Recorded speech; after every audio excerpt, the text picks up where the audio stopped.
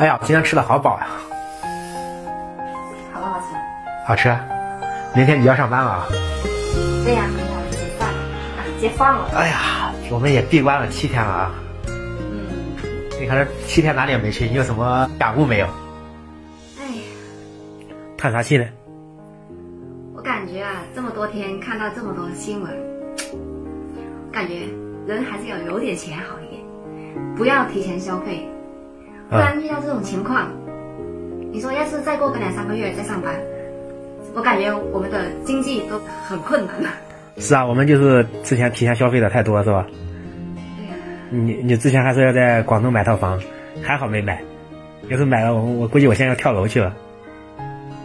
你看多少人现在这个这个春节放了两个月，基本上两个月假了大概到结束的话，嗯，很多人累了车贷、房贷，还有马上孩子开学的学费，这些基本上都有最少都有两万的开销，多少人都焦头烂额。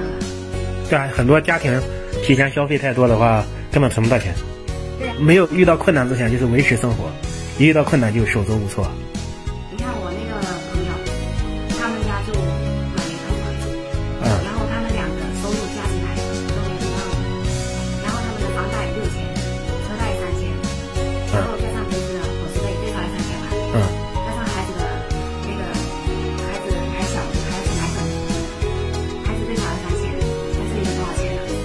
根本就不够花钱，还要他父母的退休费，才能勉强维持这个生活。那根本就不够花了。对呀、想想太可怕了。那那你还还要在广东买房不？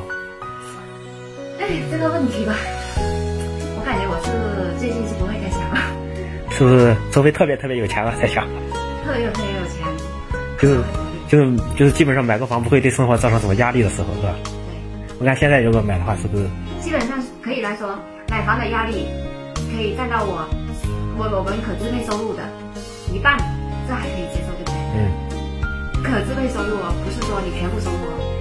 嗯，其实就是房贷不能太高，是吧？每个月还房贷不能太多。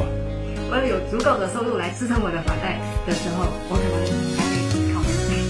现在目前这个情况，我感觉我要是再过一两个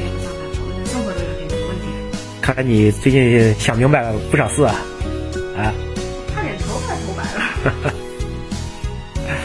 哎，可算明天就要开始上班挣钱了，不然头疼啊！